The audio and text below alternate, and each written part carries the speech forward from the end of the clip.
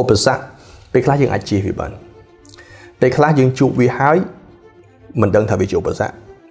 ពេលខ្លះឧបសគ្គដែលយើងជួបហ្នឹងមិនមែនជាឧបសគ្គទេប៉ុន្តែឧបសគ្គដដែលហ្នឹងជាមួយអ្នកដទៃវាជាឧបសគ្គអញ្ចឹងវាមិនមែនអាស្រ័យទៅលើរឿងអីទេវាអាស្រ័យទៅលើកម្លាំងចិត្តរបស់យើងក្នុងការពុះពៀ overcome អានោះព្រោះពេលខ្លះ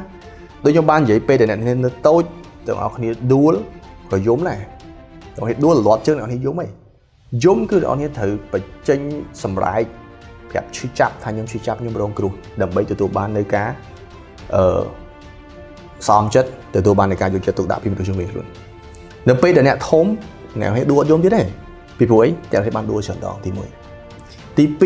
2មិនមែនមានន័យថាវាមិនឈឺទេវាឈឺដូចគ្នាប៉ុន្តែអ្វីដែលអ្នកបានឆ្លងកាត់គឺវាព្រោះពេលខ្លះអ្នកឯង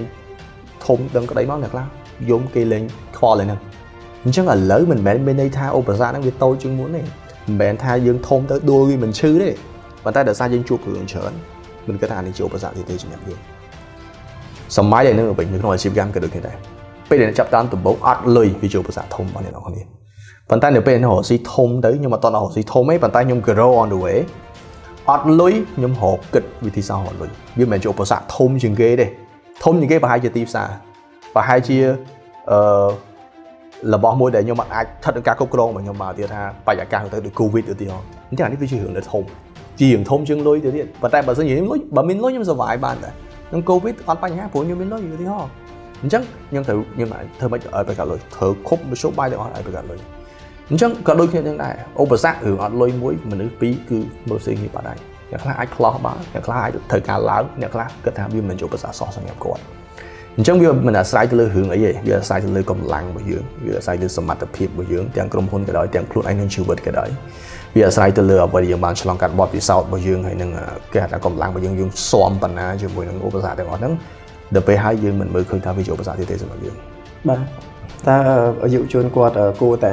ធ្វើយ៉ាងម៉េចដើម្បីអាចបន្តពុះពីឧបសគ្គដែលនឹងជួបប្រទេសនៅពេលដែលពួកគាត់ចាប់ផ្ដើមអាជីវកម្មអឺ ខ្ញុំគិតថាវាវាវាវាពាក់ព័ន្ធច្រើនមែនទែនទៅលើចំណុចចាប់ផ្ដើមរបស់គាត់នៅពេលដែលចំណុចចាប់ផ្ដើមរបស់គាត់ធំនៅពេលដែល vision ដែលខ្ញុំនិយាយដំបូងហើយដែលជាក្តីសុបិនហើយនឹងគាត់ដែររបស់គាត់ធំ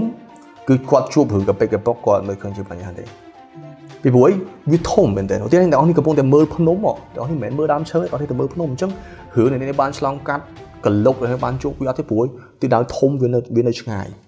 អញ្ចឹងពេលដែល dream របស់យើងធំរឿងកប៉ិកកប៉ុកអត់អាចបង្អាក់ដំណើររបស់យើងបានទេវាវារត់តែធ្វើឲ្យយើងនឹងគេអារម្មណ៍ថាយើងខិតចិត្តដល់ហើយយើងខិតចិត្តដល់ហើយទោះបីជាវារៀងឆ្ងាយបន្តិចក៏ដោយទោះបីជាទោះបីជាកោសម័យសម័យរបស់អ្នកនៅភ្នំនឹងវារលោងស្អាតប៉ុន្តែអ្នកនៅដឹងថាពេលនេះកំពុងតែដើរចូលចិត្តភ្នំនឹងវាវាកំពេតកំបោតវាប្រហោងវាអីទាំងណាដឹងទេប៉ុន្តែអាពេលដែល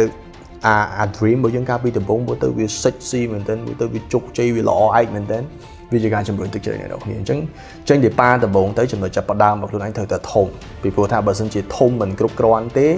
ជួបបញ្ហាចាប់ដើមអូនដែរអូនខ្ញុំជួបបញ្ហាខ្ញុំជួបអញ្ចេះខ្ញុំជួបខ្ញុំមិនអាចទៅមុខទៀតបានព្រោះ dream វាតូចពេកបាទប៉ុន្តែដល់ពេល dream ធំមួយថ្ងៃមួយថ្ងៃក្តីសុបិនមួយថ្ងៃមួយថ្ងៃក្តីសុបិនងើបពីដេកមកគឺបាច់ដាក់ម៉ោងរោអាលាត់គេថាគេហៅគេអឺភ្ញាក់មកតែខ្លួនឯងដែលមិនចាំបាច់យើងម៉ោងរោទេព្រោះថាវាក្តីសុបិនរបស់យើងវាធ្វើយើងភ្ញាក់ដូចថាបាទ